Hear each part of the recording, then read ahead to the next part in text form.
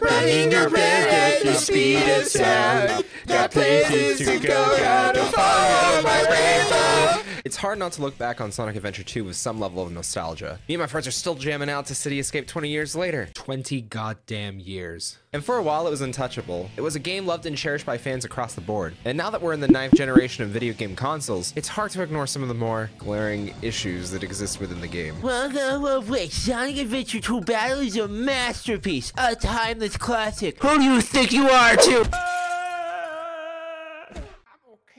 Listen, I love Sonic Adventure 2 just like anyone else. And even though this game has a special place in my heart, it just hasn't aged all that well. Hell, even if you compare it to games that came out around its time, it's clearly not as polished. The best levels make up one third of the total content, and even if you enjoy hunting for emeralds, I doubt a lot of you enjoy the Tails and Eggman levels. The lip syncing is non-existent, and super strong.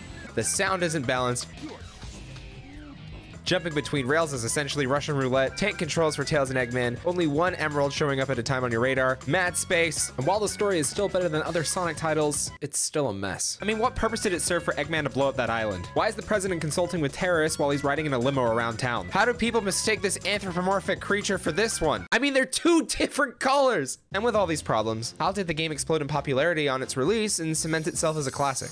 Fucking Chaos. The Chaos were cute little things that you got to raise in between levels. You'd hatch them from Chao eggs and watch them try to drown themselves.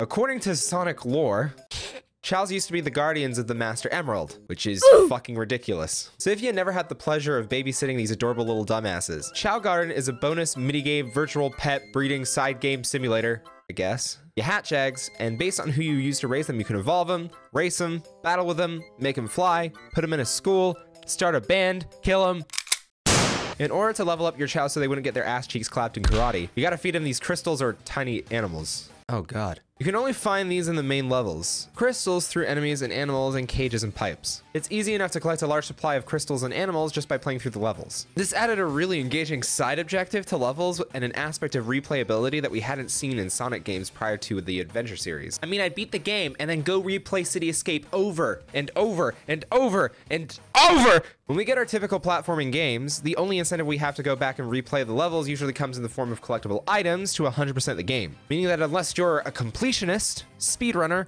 or just really fucking love Sonic the Hedgehog, Chili there's not much incentive to replay Adventure, especially nowadays when we get new games every month to distract us. But Chao single-handedly changed this formula. Now you had a reason to keep playing to search for a skunk so your Chao can fart. You have to replay the core game to expand the side game, not just go through levels watching a number slowly scooch up to 100. This idea of the main game and side game working together is something you don't see often in video games. And it's especially obvious there was a lot of thought put into Chaos, way more than you would expect of a side game. Between stats, nature, activities, and customization, Chao Garden could easily stand on its own. It's unfortunate that we don't get these kind of engaging side games placed into more modern releases. I mean, normally side games serve as a separate entity entirely from the main game, only there as more of an afterthought. If a game is going to place a side game in its world, it should at the very least be fun and relative to the world. Like in the way Gwent from The Witcher was fun enough to establish its own independent game, which, let's be honest, I think we'd all be excited for an independent Chao Garden game. As far as seeing the Chao Garden again in a newer title, Sega has been anything but clear as to whether they are willing to recreate what made Sonic Adventure so special. But at the moment, there are a few fan-made games and mods that will scratch that itch. Sega was really onto something, and it's kind of a shame that they never capitalized on such a great idea. Hopefully we get to see the Chao Garden return in the future, as long as the game isn't like 06. Happy holidays, my Chao-loving friends. Thank you for taking the time to watch the video all the way through. I'd like to thank all my Patreon supporters for helping support me and allow me to keep creating these videos for you guys. I feel like I should mention that everything I said in this video is my own opinion. So if you disagree with me and think Sonic Adventure 2 is a great game and has no flaws,